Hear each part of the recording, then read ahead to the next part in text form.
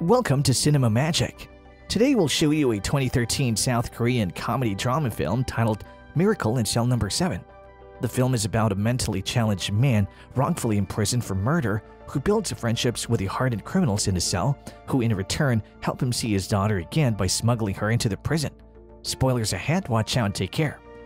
At the movie start, we're introduced to a full-fledged lawyer who tries to defend her father's name. Basically, these two are the main characters in this film mentally impaired Lee Yong-gu and her lawyer daughter named Yesung. Her father was falsely charged with the rape and murder of a young girl. She claims that the prosecutor makes false claims since she was the witness to the whole incident. To convince the judge, she tells the courtroom about her past. Now the film jumps back to 1997, where six-year-old Yesung and her mentally disabled father are seen repeating the steps of an animated commercial. Meanwhile, Yesung requests her father to get her the remaining Sailor Moon bag from that shop. Younggu replies to her that once he receives the payment tomorrow, he will definitely purchase the bag. However, another customer buys that last piece of the bag.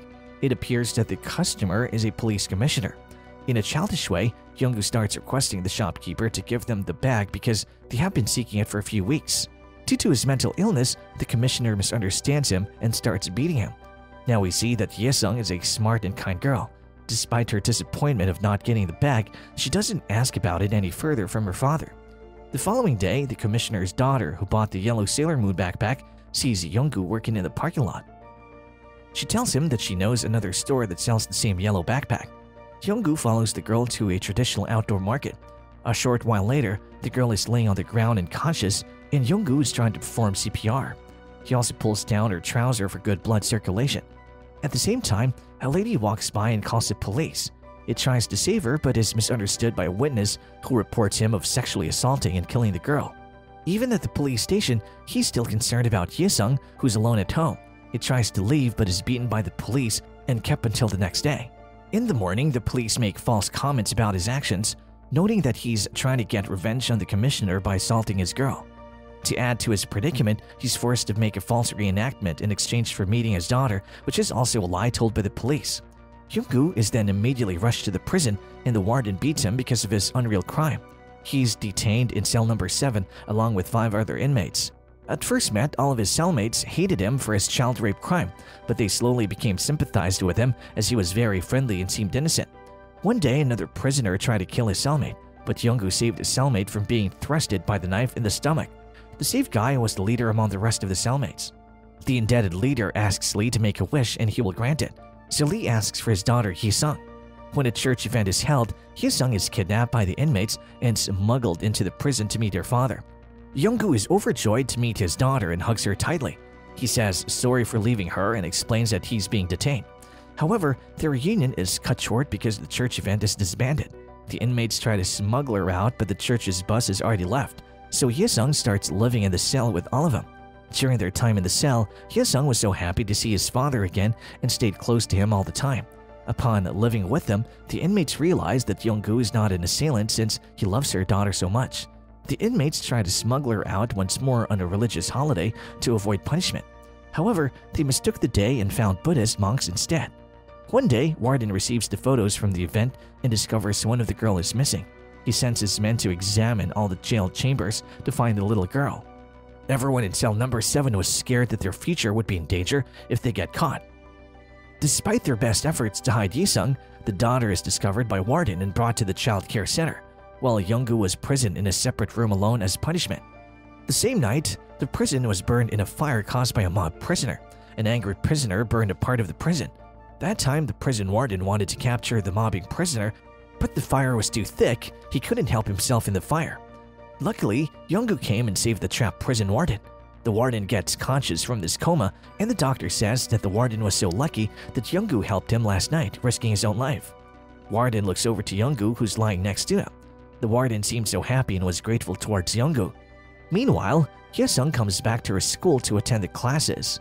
Her teacher asks about her problem, and Hyesung recommends a parent consultation instead so that she can meet her father. In prison, Younggu is finally united with her daughter once more. Upon realizing that the girl just misses her father so much, she doesn't bother them and lets them talk wholeheartedly. They enjoy their conversation very much, but the visit time's up. The next moment, we see that Warden recollects his memories about his only son who was killed by an inmate. Now we see that the warden reconsidered Younggu's case as Younggu doesn't seem to be a criminal. He looks into his crime files and finds that his sworn statement is falsified. Warden was kind-hearted, so he brought Yesung to meet and stayed with his father in the cell. During Yesung's time with his father in cell, she cheers up the inmates with Sailor Moon singing and dancing, drawing and learning. One by one, the inmates have a special bond with her as they help one another. During an exercise, Younggu is informed that his final trial is set. The inmates are determined to train him so that he can win the trial and be unified with her daughter once more. They prepared Younggu for the trial to avoid an imminent death sentence for him, but up against the police commissioner, who was the father of the young girl he was accused of killing. But they all know that it was not an easy task. Knowing the mistreatment, the inmates are more convinced to help him win. They train him to answer trick questions skillfully without hiding the truth.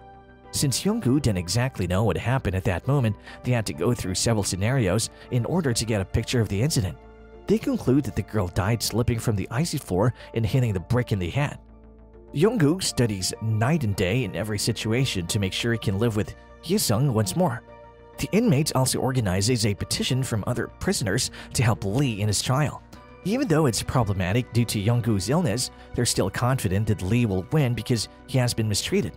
Meanwhile, a lawyer visits Younggu in prison and threatens him to confess to the killing. The lawyer also abandons the prisoner's petition, saying it won't help. He goes on to say that the police commissioner is a powerful figure who may ruin his daughter's life if he refuses. Meanwhile, the warden meets the commissioner to convince him of Younggu's innocence.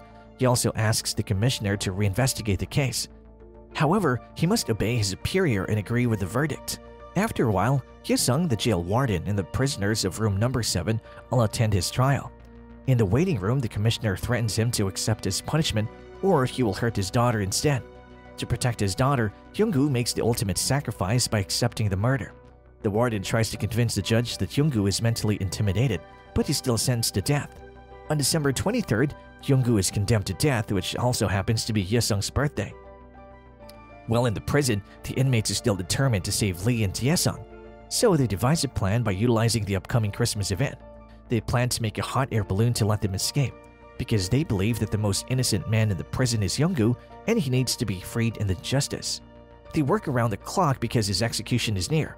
During a prison function, Younggu and his daughter are sent on a hot air balloon and effortlessly try to stop the guards from arresting them.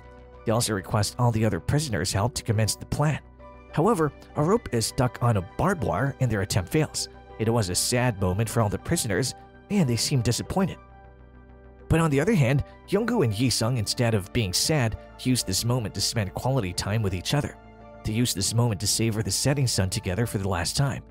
Back in the cell, everybody celebrates Yisung's birthday, and everyone gives her presents, which makes her so much delighted. We see that Younggu gives her the Sailor Moon backpack that she has been asking for, However, their joy is cut short when the executor calls Younggu. Cellmates are devastated, but they hide their tears and lie to Yisung that her father is being transported to a different cell. As Younggu walks past the hall, the other prisoners also feel sad for him. As they're about to separate, father tries to hold his tears in front of her daughter. He hugs her daughter for the last time and walks to his execution. Yesung waits for her father's final goodbye, but it doesn't show up because he's devastated by their goodbye. After hearing her daughter calling him, he comes back to hug her wholeheartedly. He pleads with the guards that he doesn't want to be separated from his daughter, but they all are now powerless to help him. Over and over, he says sorry and asks for help from anyone, but the prisoners and guards cannot do anything for them. After a while, it was sad to see that Younggu had been executed because of all the fake accusations. Now scene cuts to the present, where adult Yisung is adopted by the warden, and she studies hard to be a lawyer and appeals for the case we see that Yisung is requesting records related to her father's murder case, which occurred in 1997. The film ends with Yisung seeing her as a child and her father flying away in the balloon as if he's off to a better place in heaven. And that's all about this video. Don't forget to give it a thumbs up and subscribe to our channel and hit the bell icon to stay up to date with such interesting movie recap videos.